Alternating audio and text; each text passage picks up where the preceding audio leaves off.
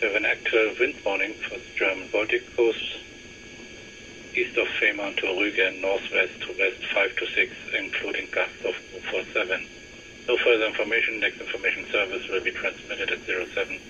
All watch. Auf nach Kap Ort, auf den Spuren von Jimi Hendrix. In diesem Video kriegst du ordentlich was auf die Ohren. Film der Gegensätze. Laute und leise Töne. Wechseln sie ab.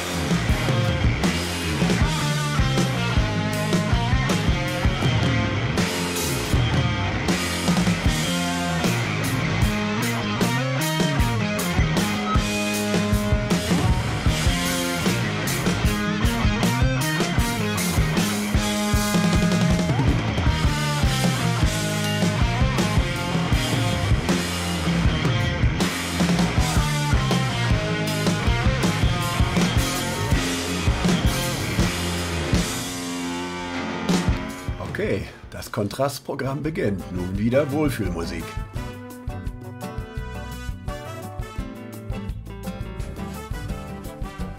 Moin! Morgens 7 Uhr, Zeit zum Klarmachen.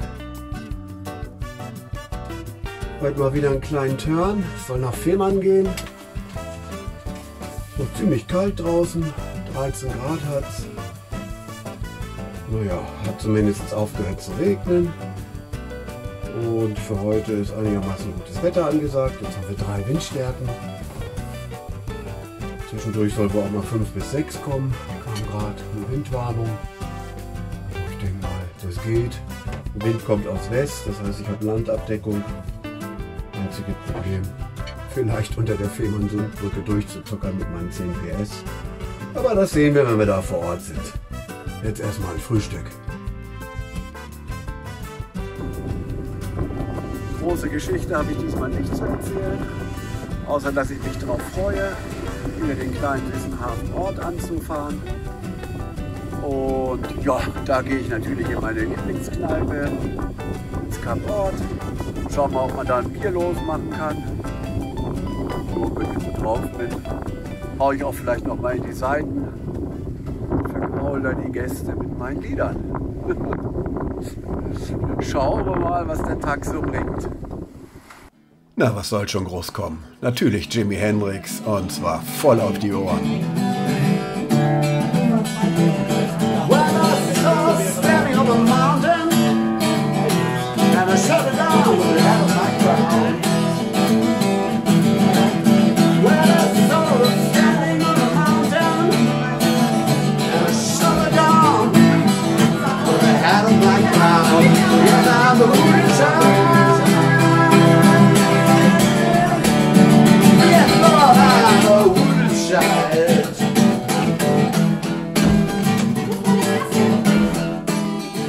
Immer gefährlich, mich darum zu bitten, Lieder von Jimi Hendrix zu spielen. Selbst wenn ich nur die akustische Gitarre dabei habe.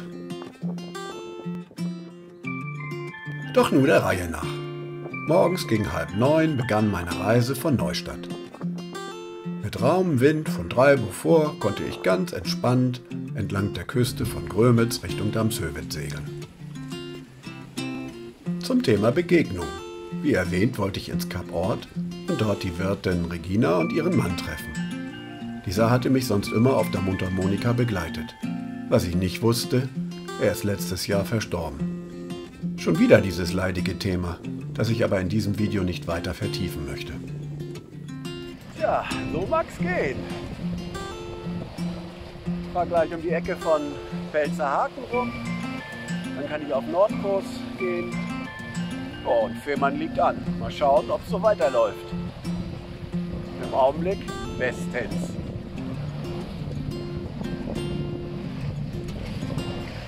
Mit jeder Meile, die ich auf Fehmarn zulief, frischte der Wind mehr auf. So, Ref 2 eingebunden. Kommen jetzt auch wieder irgendwelche Regenfronten rein mit Schauern. Ja, mit den Schauern, die jetzt aus Westen aufziehen, kommt noch ein bisschen mehr Starkwind. Wieder einmal hatte die Wettervorhersage perfekt gestimmt. Vor Fehmarn herrschte ein anderes Windfeld. wenn die Gischt anfängt waagerecht übers Deck zu spritzen und die ersten Brecher überrollen, dann herrscht Showtime. Hack ist angesagt. Der Rock'n'Roll beginnt. Das Gebiet um die Firmansundbrücke ist bekannt für seine widrigen Wellengebirge. Die See kurz vor Fehmarn begann zu kochen und Wellenberge stellten sich der Wiedewind entgegen. Der Fehmarnsund trennt die Insel Fehmarn vom Festland. Diese Meerenge ist in West-Ost-Richtung zum Meer hin offen und genau deshalb können bei Windrichtungen aus West und Ost die Wellen aus den tieferen Teilen der Ostsee ungehindert in die Meerenge einlaufen. Dadurch, dass diese plötzlich erheblich flacher wird, können die einlaufenden Wellen sich unangenehm aufstellen.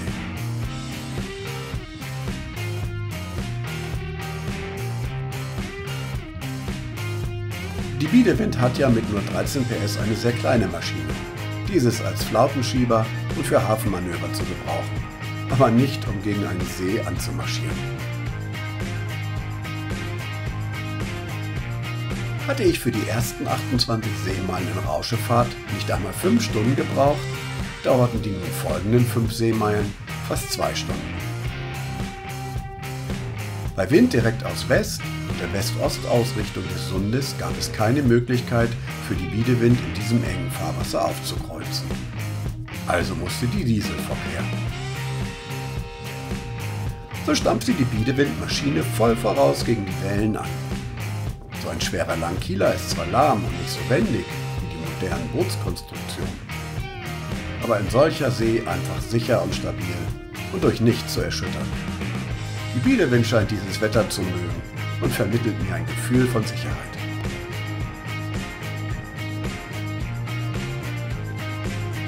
War natürlich klar, dass das morgens angekündigte Windgebiet 5 bis 6 Windstärken mit Böen 7 genau in dem Zeitfenster zwischen 2 und 3 kam, als ich die Brücke passieren musste.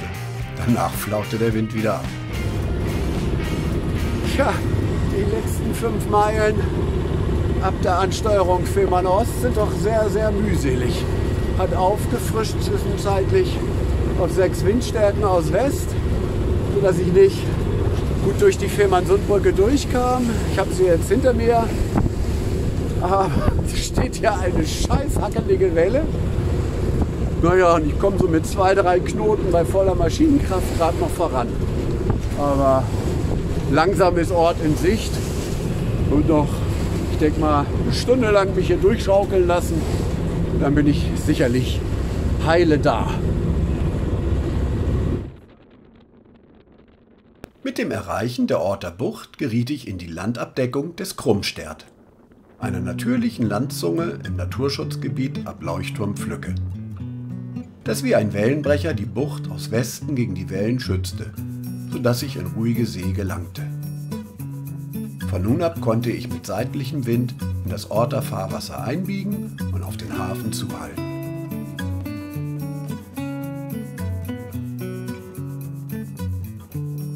Die Orter Bucht ist ein Paradies für Kitesurfer und Surfer allgemein.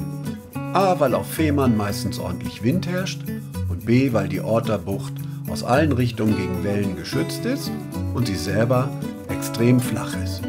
Nur die Fahrrinne ist ausgebaggert, um in den Hafen zu gelangen, der 1881 angelegt wurde. Früher hatte der Hafen noch eine Bedeutung als Handelshafen, jetzt dient er nur noch den Sportbooten als Unterschlupf und auch in Ort wird fast nur noch Tourismus betrieben.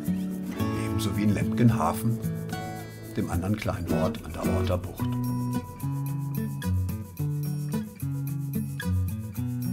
Beim Einlaufen fielen mir sofort die Zwillinge von Kappeln auf. Nachbau eines Lotsenkutter von 1850. Die Zwillinge gehören meinem Segelkameraden Conny. Mit Conny habe ich ein Jahr lang zusammen einen Traditionssegler gesegelt, bevor ich die Biederwind erwarb. Ich fand einen freien Liegeplatz neben einer Halberkrassi Mistral wunderschönen Boot mit Holzaufbauten, ebenso wie die Wiedewind, die sich dort sofort wohlfühlte. Überhaupt war das ein Wohlfühlplatz. Mit einem Blick in den freien Hafen hinaus, Hafenkino inklusive, da braucht man doch kein Fernsehprogramm mehr.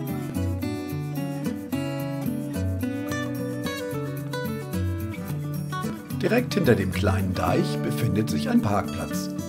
Meistens frequentiert von Surfern, die von dort einen kurzen Weg in die Orter Bucht haben, um ihre Bretter und Segel zu transportieren.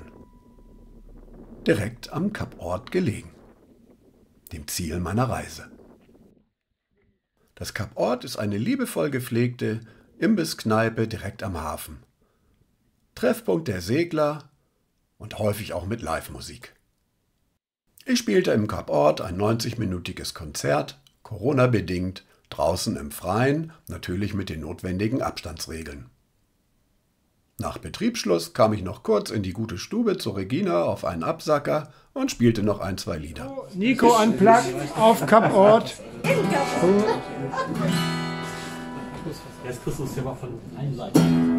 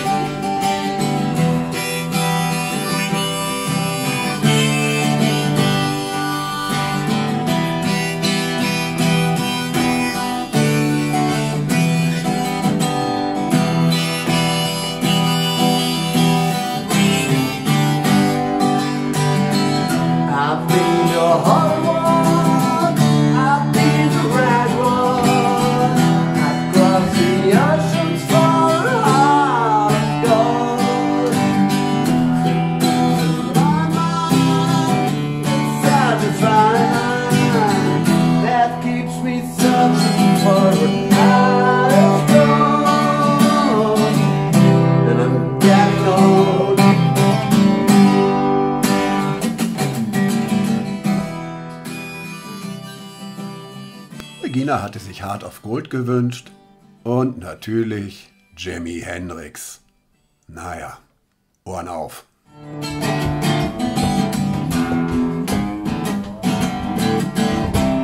Hey Joe, tell me now what you gonna do with a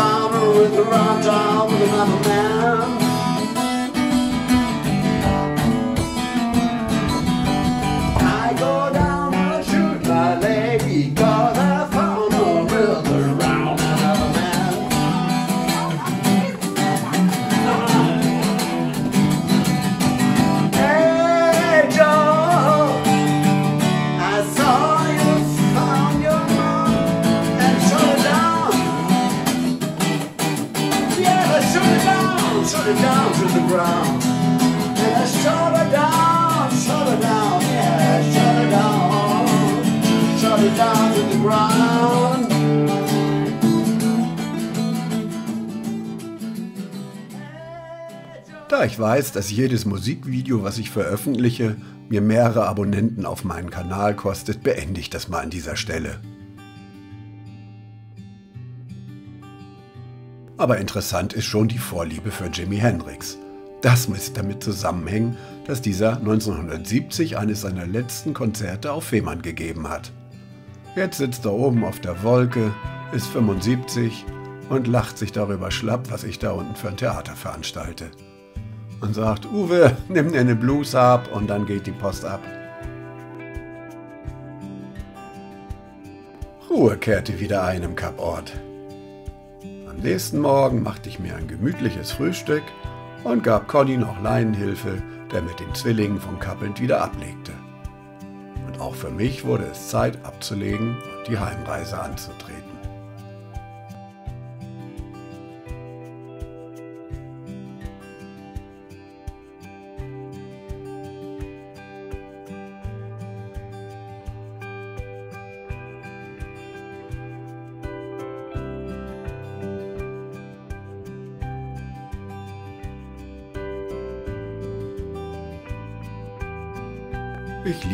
Morgendliche Stimmung und ich liebe dieses Licht. Ort wieder ausgelaufen, mache mich jetzt auf den Weg unter der Firman-Sundbrücke durch und dann geht's wieder heim nach Neustadt. Wind hat sich jetzt ziemlich gelegt, sind vielleicht noch gerade so drei Windstärken aus West. Äh, sollte ich aber trotzdem gut schaffen, durchzukommen jetzt. Hauptsache ich muss nachher nicht Motoren. Gewitterböen sollen wohl keine weiteren mehr kommen. Naja, ich freue mich nochmal auf einen schönen, schönen Segeltag. Ja, das ist doch jetzt eine ganz andere Kiste unter der Firmansundbrücke durch, als auf der Hinfahrt, wo man gegen die Welle und den Wind gegen an motoren musste. Jetzt ziehen die Segel schön, die See ist ruhig, ach und die Sonne lacht. Herz, was willst du mehr?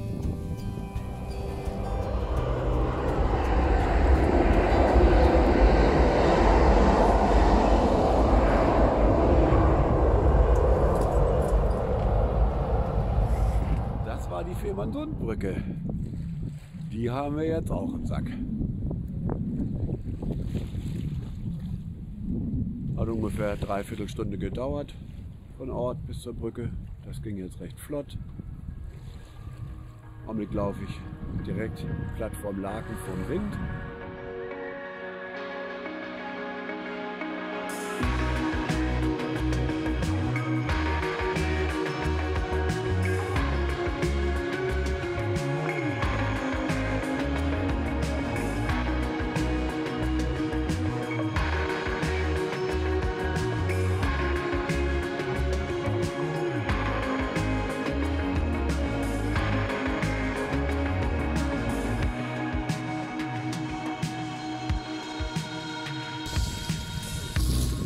Ja, nun ist Rock'n'Roll zu Ende. Das war's mit Rocking Cup Ort. Neustadt in Sicht. Vermut mal eine Stunde werde ich wohl noch brauchen. Muss jetzt ein bisschen aufkreuzen, weil der Wind ziemlich von vorne kommt. Schläft auch langsam ein. Aber es ist wunderschönes Wetter. Glitzert im Sonnenlicht. Einfach nur herrlich. Ja, das war ein schönes Kurzwochenende, toller kleiner Trip. Jetzt kommt noch mal eine Woche Arbeiten und Klausuren und dann ist Schicht im Schach. Fertig machen. Eine Nordseetour. Solltest du immer noch das Video gucken, hat dich meine Musik nicht abgeschreckt. Dann schenke mir ein Like und abonniere meinen Kanal und sei gespannt auf die Abenteuer der Wiedewind in der Nordsee.